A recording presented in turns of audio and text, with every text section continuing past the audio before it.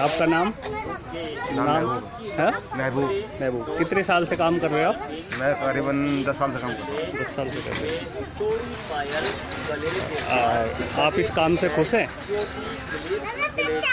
rubber और श्रृंगार का सभी सामान